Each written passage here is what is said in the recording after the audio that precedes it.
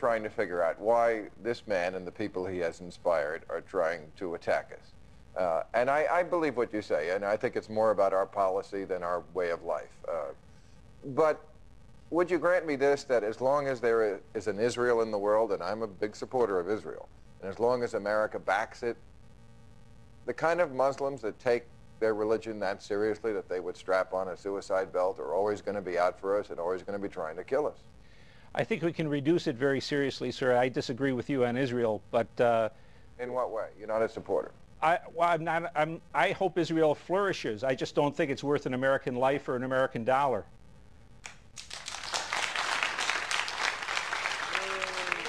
You, you don't think the existence of Israel in the world is worth an American life or an American dollar? Uh, not only Israel, sir, but Saudi Arabia or Kuwait or Bolivia. I, am much you really more... Can't, you're really not telling me that Israel is on a par with Saudi Arabia. I'm telling you, what I'm telling you, sir, is I'm most interested in the survival of the United States. But Israel is a democracy in a part of the world that has none. What so what, sir? It doesn't matter to Americans if anyone ever votes again.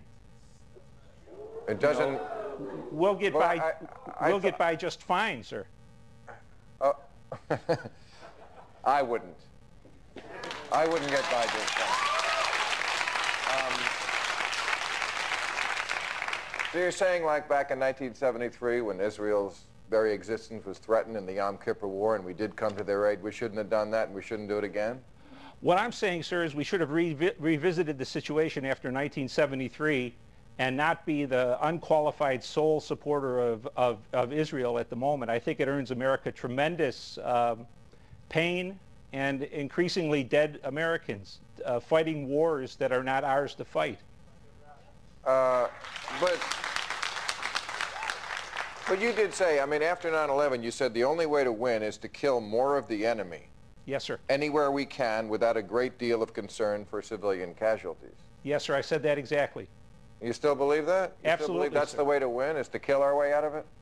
Uh, that's part of it, sir. The, part, the other part is what Mr. Paul has said, is to stop intervening in their world except when it's absolutely necessary. Yeah, I would agree with that.